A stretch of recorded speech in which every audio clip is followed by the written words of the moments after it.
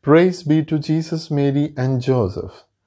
Dear brothers and sisters in the most blessed Virgin Mary, what is the value of a slave of Mary? Or how a slave of Mary is valued in heaven and in front of God?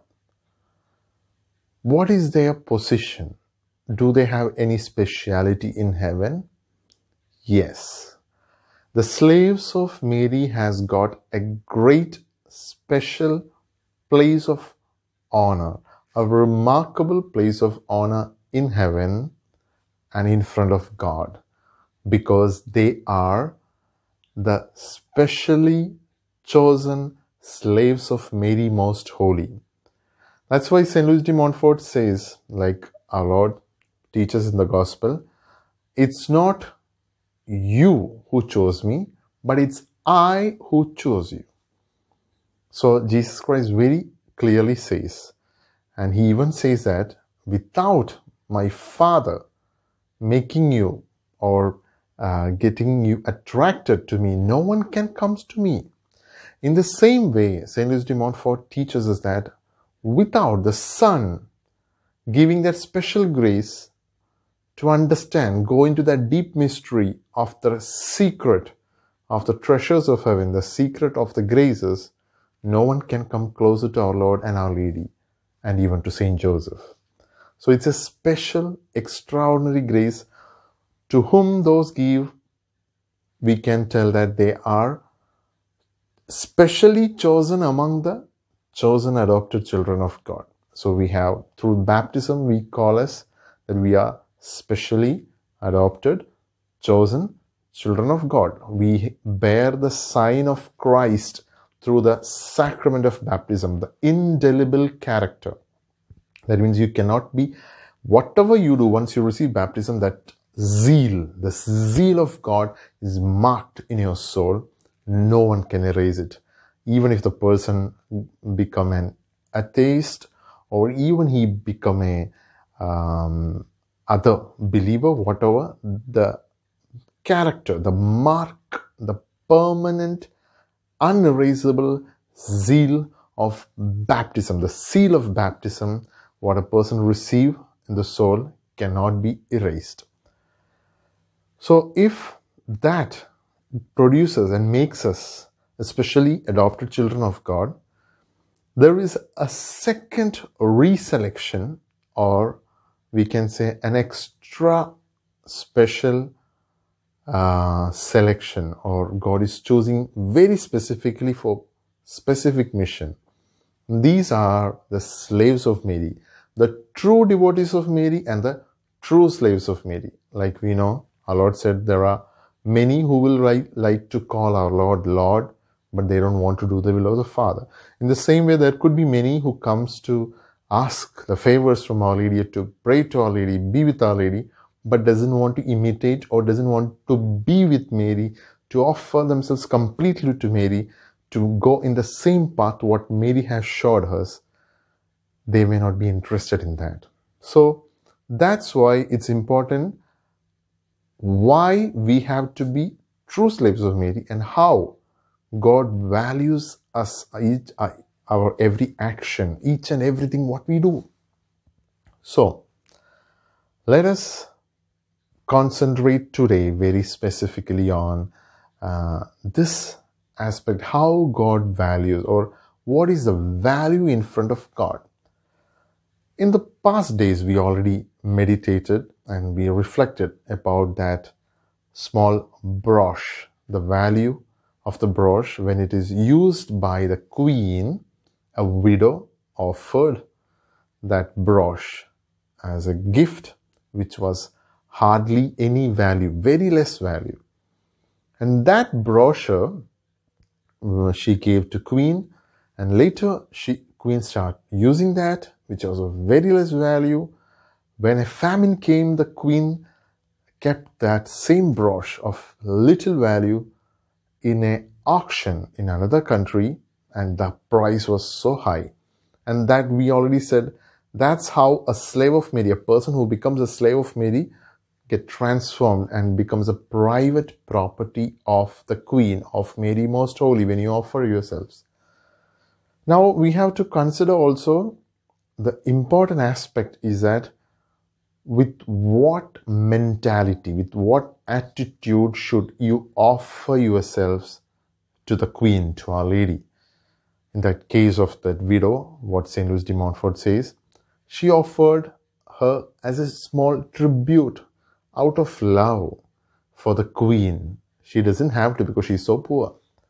We see a similar aspect in the Gospel uh, of St. Mark, chapter 12, verses 41 onwards, we can read that our Lord Jesus Christ evaluating those people who were um, who were giving their alms or they were donating the whatever to the they call it the treasury or the offerings they were giving to the temple for God for the service of, of the temple.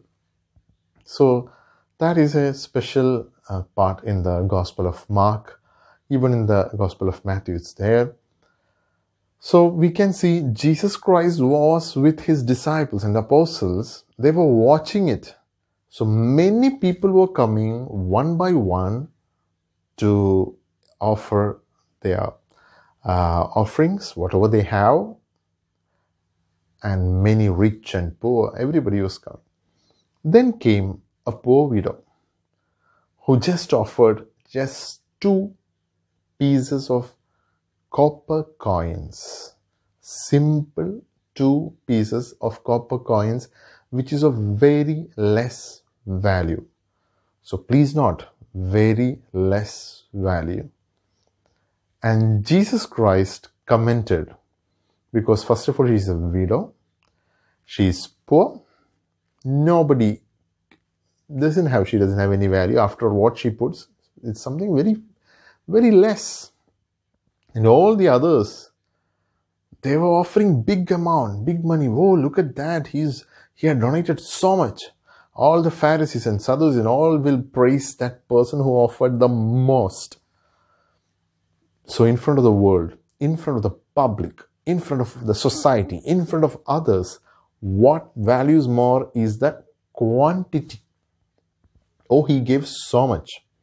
Even inside the Christian society, inside the church, inside the Catholic Church as a whole, even in the individual churches.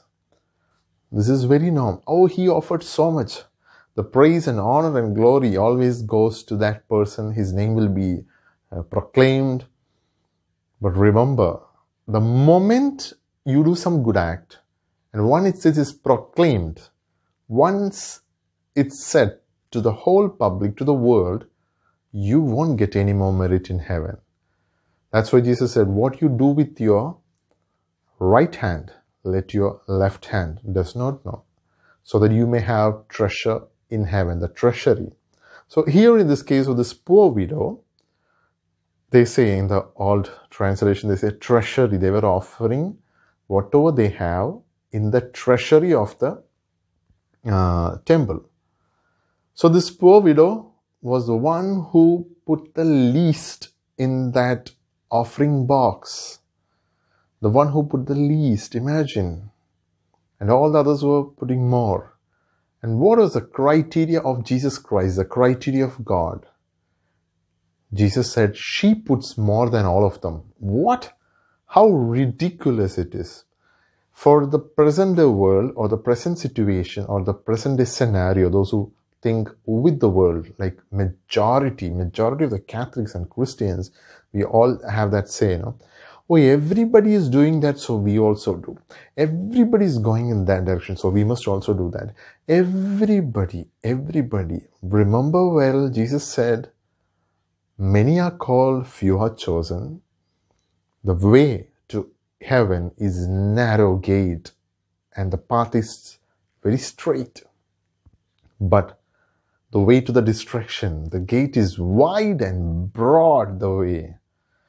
And many will go. So this many, many will go means many will come. Say, all are doing that. Many are doing that. So we will also do. That's not the vocation of a Catholic. That's not the call and mission of a slave of Mary. We are called to go against the current. If the world and everybody is going, oh, everybody is doing that way, we are called to counter it. That's why the great uh, Professor Plinio Correa de Oliveira, uh, the great, um, he is a layman who uh, founded an association of the youth, and he said, when the enemies of the church wants to do a revolution against the good, against the tradition, authentic traditions of the church, it's a responsibility of the true faithful slaves and true faithful children of the Catholic Church to do a counter revolution. And we are called for that. So being Marian means you are going to do counter revolution against all these modern principles or heresies or the errors, what is proclaimed and hailed as truth or it's normal, it's happening everywhere, so we also follow that. No. A true slave of Mary, a true devotee of Mary is called to counter it, a counter revolution. If the revolution want to destroy all that what is good in the church and all its traditions, we are called to do the counter revolution. And who is the propagator of the revolution? Of course, we know the devil. So the children of Mary are called to be the counter revolutionaries, the counter attackers of the devil and all the devilish, evil, hidden and open agendas what devil brings through the sons of darkness in this world, in this modern, in this present era. So we are called to do, the slaves of Mary are called to this counter revolution. And what is a counter? The same thing what Jesus did. Everybody praised or everybody will see only what those great or rich people who put in the offering box. But this widow put just two simple coins, simple. And Jesus hailed that act more than anything and said, she put more.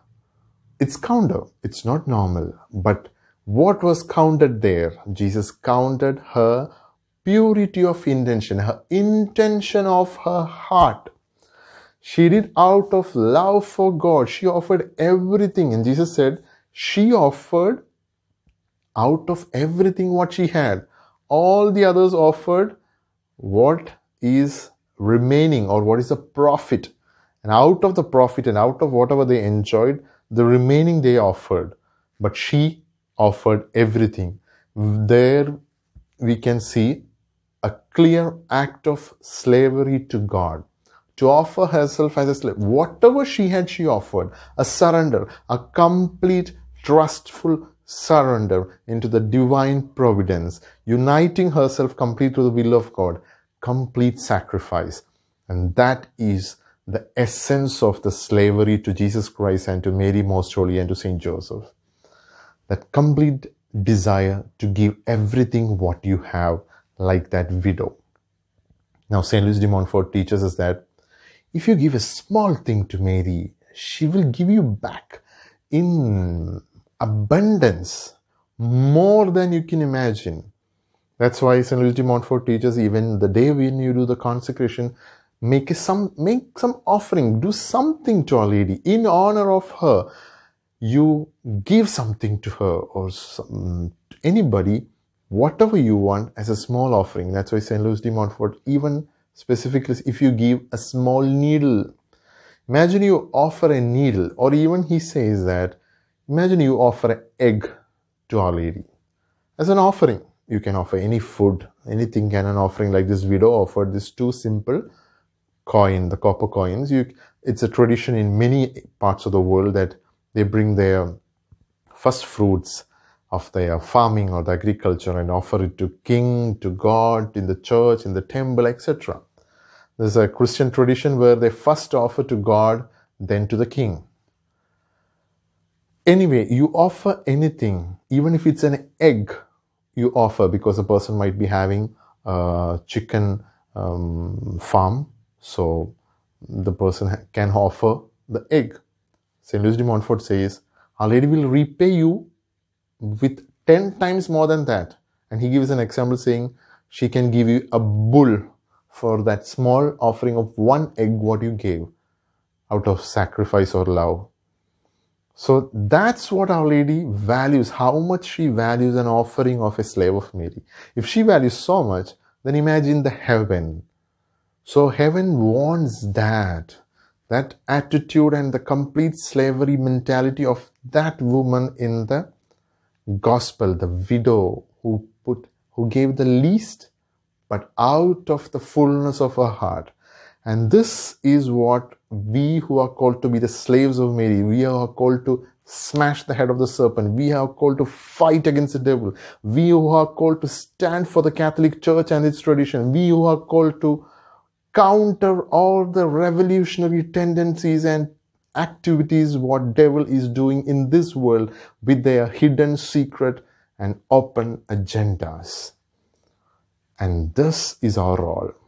We have to go in front with this dedication like that of a widow to give ourselves everything, our body, our soul, all what we have, a surrender into the hands of Mary Most Holy as a slave of love. St. Louis de Montfort teaches us that we are called for that and we should try our best to give that. Still, we might find the debilities and the difficulties and the obstacles what is hindering us from this complete offering. We must seek with humility the intercession of Our Lady to grant this grace so that whatever we give has so much of great value in front of God. St. Louis de Montfort gives another example when we pray, it's like we are sinners. So when we pray to God, when we offer anything, we are weak, fragile, sinful tendencies, always our desires are for this world and the flesh and all its desire and especially devil on top of it. When we offer, it's almost like very less value. But when it passed through the hands of Mary, value increases. So whatever comes through Mary, so when you offer yourself as a slave to Mary, you become her private property and you become her own. And when she present, the value is much more. So when that widow offering the coin, when she has the intention to offer through Mary, it gives much more value. Now I'll explain what St. Louis de Montfort taught us.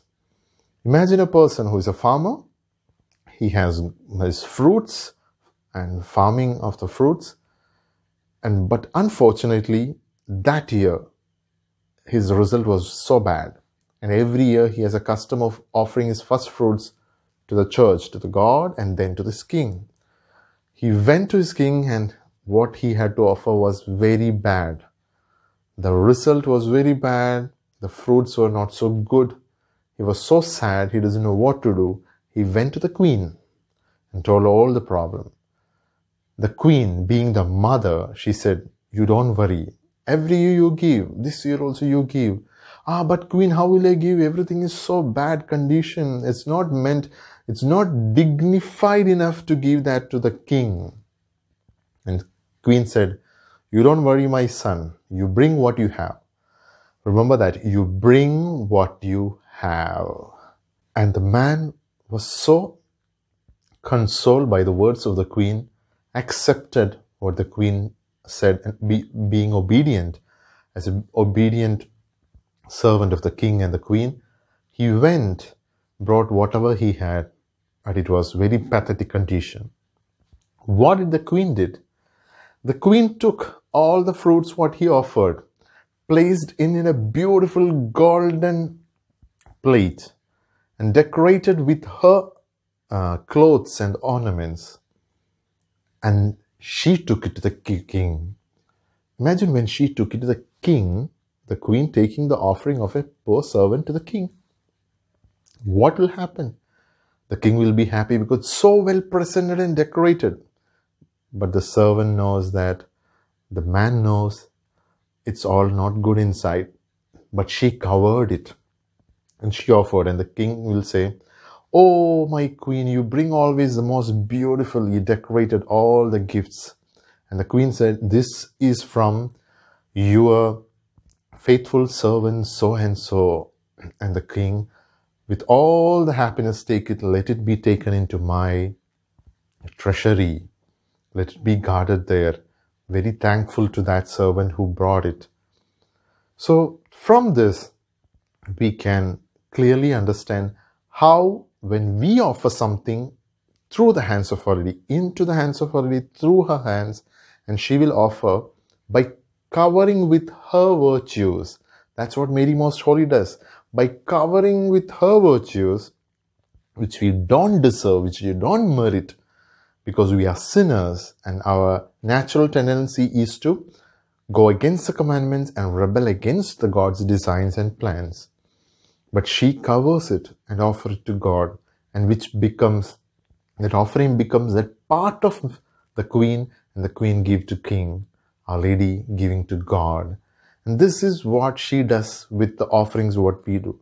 So important is the purity of the intention, the purity of the intention of our heart. It's not how much you give or it's not what you give, but it's with what intention or how you want to give it.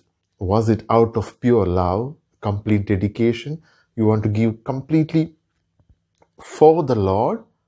Then Our Lady will accept it, cover it, adorn it, beautify it, and present to God. And this she does with our souls and all what we give to her. So let's ask this grace from Mary Most Holy. Grant us this grace so that we may be, have a complete, trustful, and true surrender and a true offering. It's not what and how much you give, but with what intention or how you want to give it in order not to show others, not to get a name, not to get prestige, but purely out of love and to give everything what you have, a trustful handing over, entrusting what you have, like that widow in the gospel, to give for the Lord out of love. May Mary Most Holy grant us this grace in our day to day lives so that we may become her true slaves, her true counter revolutionaries, her true children of the Holy Catholic Church. May Jesus, Mary, and Joseph bless you all.